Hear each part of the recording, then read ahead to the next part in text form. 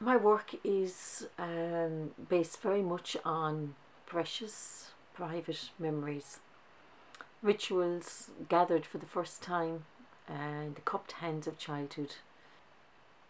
I came across a, a bundle of goose quills neatly tied, carefully wrapped by hands now departed.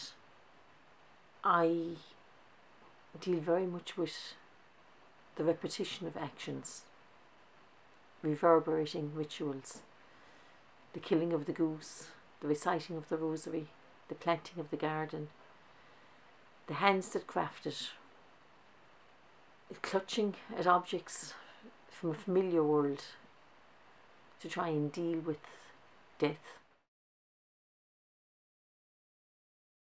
I'm a painter. I work in paint primarily, but I suppose now at the moment I'm just kind of working with paint as a prep. And I've just been drawn back to drawing and I hadn't done it in a long, long time. I hadn't done it since I was in college, so it's nice. I like the kind of the rubbing out and the building up and the and the different kind of stages of that, you know. Um, I like the I like the immediacy of it, but you're very close to it. One of the things I suppose I'm trying to capture, and I think that is common to a lot of my stuff, is a is that kind of moment of tension, anticipation, really, maybe more than tension, but that, that moment of anticipation where you're kind of there's a feeling, there's an kind of settling feeling,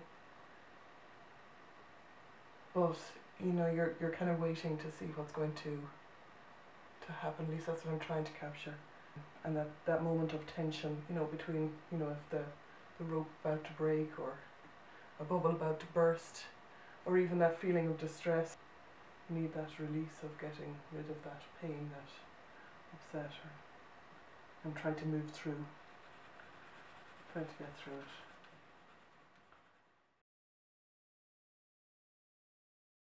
I work with material that comes directly from the concept of the home, the land, and the person. And with familiar things, I free them. It's a way of working that involves laying objects out to study, to deconstruct and to reconstruct new forms from their, their parts. Projecting video recordings, washing the parts of the furniture back into and onto the object itself simply felt truthful. The process is one of being in tune with this narrative and with this process until a rebirthing. The result of that would be, of course, to provoke some curious associations in the viewer. I suppose my work deals with change.